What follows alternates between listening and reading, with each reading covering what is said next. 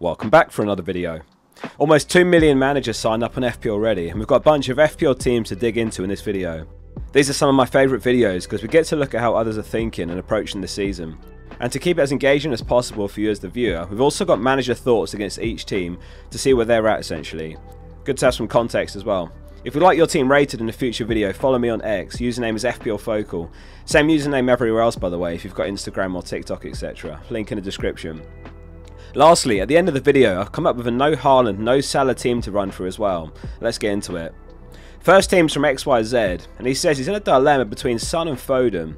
He says Son's got some good fixtures up front, but Foden played deeper in the Euros. And he says I doubt Pep would introduce him early in the league, but also want to cover City's attack. So first thing I'd say is to separate the Euros tactics, as we're talking about Pep and Southgate here. However, you make a good point on some players being introduced later. It's going to be one of the most important things to pay attention to as we near Game Week 1. Some managers might or might not want to give those players that were involved in the final Game Week 1 off. At the previous Euros, Saka was given Game Week 1 off, though it could have also been to take him out of the spotlight after the penalties drama. In my eyes, Foden's the better pick, and he does free up 0.5 mil as well. The likes of Foden and Saka aren't on pre-season tours, and they're going to join up with the squad much later. Palmer, Watkins, etc. will be fine, as they barely played in Euros. Szoboszlai's an interesting one. I've not seen him in many drafts. Slot does love a cam. Stenger's got 20 goal involvements last season in 29 games in the league, 6 goals, 14 assists. I almost missed that you've got 0.5 mil in the bank as well, which is something I've done a few times before heading into Game Week 1. I like this approach because it keeps you flexible if a player rises in price. Let's say Son blanks the opening couple of game weeks and Saka smashes it, rising to 10.1 mil, then you're not priced out with the extra money. FPL Cam's up next with a really well-rounded team. He's got Sanchez in goal, he's only 4.5 mil, and I've seen him rumoured to be Chelsea's number one this season. But it's also been reported Chelsea are in for a new keeper. Very unfortunate situation for Petrovic if it's true. Cams is wondering whether to drop Schär to a 4.5 mil defender to save up funds. I'd say it's worth it here because Vardy's a non-starter for me. He's 37 now and he was an impact player for the majority of last season's games off the bench. In fact he played 90 minutes once all season.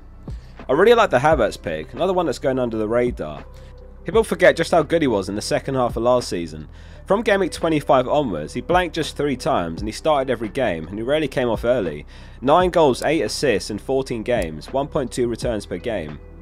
I would drop Schär and upgrade Vardy, or alternatively, if João Pedro is looking good by game week 1 and he's the same price as Vardy, you don't even need to spend more. Munoz is a solid option as well for 6 mil. Next up is Alex King. And he says, I'm unsure on Pereira. I don't know who's better for 5.5 million. He says he's not sure whether to include Salah either, because he doesn't think Liverpool are going to do well this season.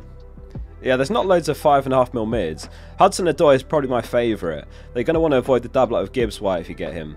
I'd avoid the Spurs double up and drop one of Vicario and Udogie as well. Spurs defence wasn't that great last season. And I'd definitely start Vardy over Barco. I agree on Salah and Liverpool in general being a bit of a question mark, though it is Ipswich in Week 1. Barnes and Darwin too much money to have sitting on the bench. I'd look to downgrade them to cheaper options. I just did a video on the best cheap players which I recommend watching, and then spread that money around your starting 11 more. FPL Pingu says he's targeting shots on target bonus for players, and nailed is the main focus. I love this approach. It's become clear that lots of players are going to nudge extra points over the season as a result of the bonus points changes, and the keepers and defenders are going to be negatively affected, which is where you've spent less money. I've fallen into the trap before of picking a player who, if they become nailed, are going to be FPL gold, and in the end they're not nailed. So this is essentially an expected minutes or X-Mins approach, a starting 11 of completely nailed players who are going to largely play 90 minutes as well. Hard to fault this one. No Palmer or a City attacker, the only criticism really, but you can't have them all. Lovely depth on the bench as well with Hudson Odoi and Mykolenko. I'd start Mykolenko over one of the 4.5 mil defenders. FPL Vol says he's stuck between Salah and Harwood Bellis versus Foden and Trent, and he adds, is it really worth to go without Foden and Trent just to get one good player? He also says, I'm too scared to go without Salah, but I need to offer Foden and my defence. In this case, I'd say Trent and Foden is easily the better combination than Harwood Bellis and Salah. First of all, you never want to start Harwood Bellis, so that's fine if you can stick him last on your bench, but the same applies to the rest of your bench here. You've got Barco and Winks. You never know when a player could be unexpectedly benched or not even in the squad, and you're going to be forced to sub Winks in, for example. I've noticed managers are becoming increasingly coy in their press conferences.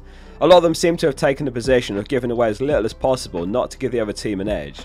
So with the Foden and Trent combo, you get better bench depth, as you can bench a 4.5 mil defender, plus you've still got Haaland, so you've got a captain available every game week.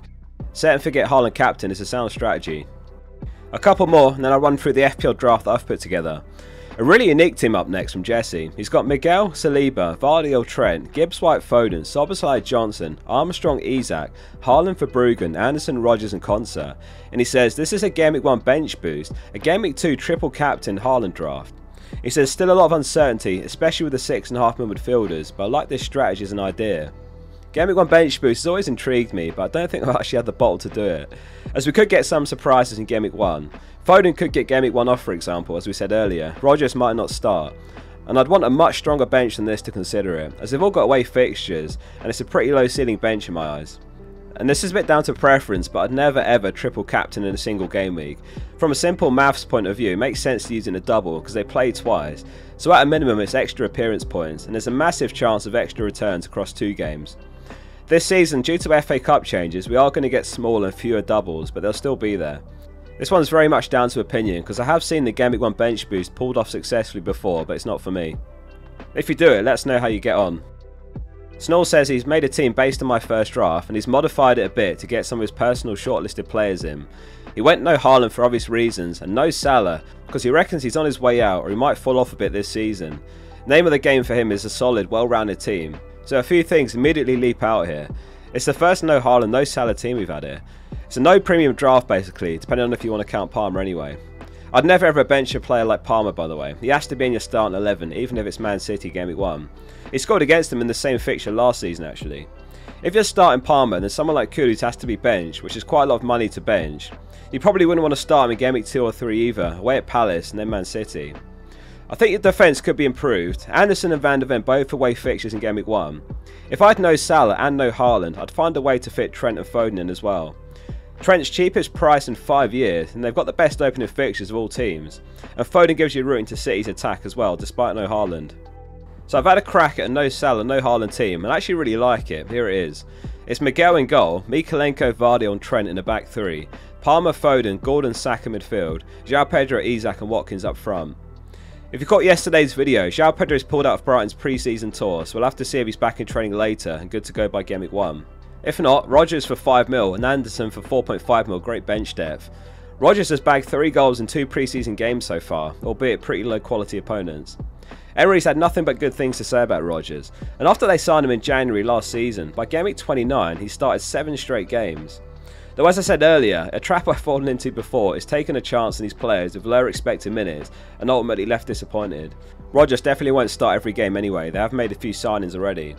So this team has three sub-premiums, or whatever you want to call them, in Foden, Palmer and Saka, plus a heavy-duty defence. Has anyone else considered a draft without Salah and Haaland? It is crazy how much the money spreads around without them, but one of the big trade-offs is captaincy. I always plan my captains weeks in advance, and Saka didn't feel like captaincy material much last season. Foden at times did, and Palmer certainly did, but I'd be more comfortable with a draft that's got Salah and Palmer, or Haaland and Palmer, as then you've got at least two options every week. Sorry I couldn't get through many of your teams, there was over 500 sent in in the end, and I tried to pick out a good variety. I read every comment, so drop one below of where you're at with your team. Thanks for watching and see you soon for the next one.